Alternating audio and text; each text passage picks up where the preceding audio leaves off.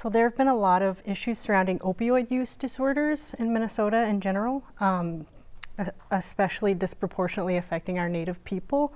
And I was wondering if you were elected, do you have any plans to address, address the opioid crisis?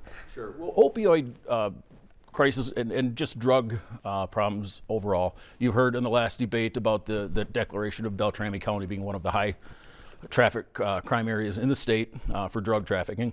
And we need to, to support our law enforcement. And we need to uh, also, uh, once we get the people, we need to address them uh, in, in a compassionate way and get them the help they need.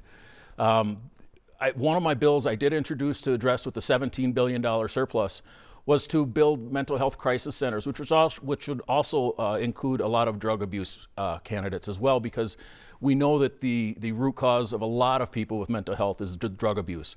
So if we can get them into some intervention uh, systems, and uh, that's something I did request funding to use some of the $17 billion of surplus that we had. Uh, didn't go anywhere, unfortunately, but that's the area that I'd like to focus in.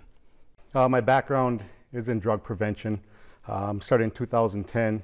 And you're talking about the high rate of um, opiate use in the indigenous community.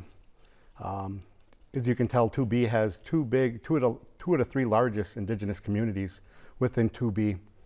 And so how has this been addressed? Um, it has not been addressed um, at all.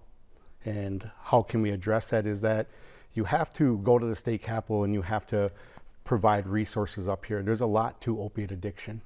You know, it's just not somebody using constantly and saying, you know what, we're going to give up on them. It is not. Um, one of the things that was entered into a bill was a $24 million wellness center, which was allowed to three wellness centers, turned into three wellness centers on the Leech Lake Reservation. And that bill was co signed by Mr. Bliss, but also voted against by Mr. Bliss when it came to voting. And so, how do we change that? Is that we have to start at the youth and we have to provide these wellness and other changes so people have something else to do and somewhere else to go besides sitting in the streets or causing chaos at night. When you talk about opiate addiction, you know, it's, it's very complex, it's community oriented.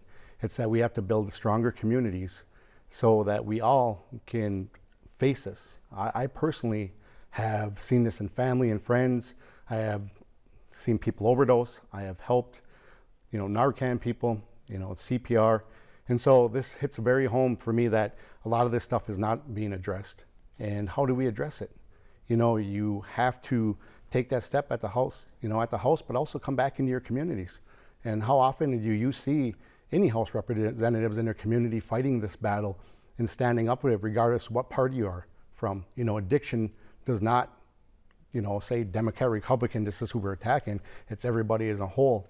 And that's what here I'm going to address and push for. Thank you. Thank you. Mac, do you have a rebuttal? I'm good. Thank you. Thank you.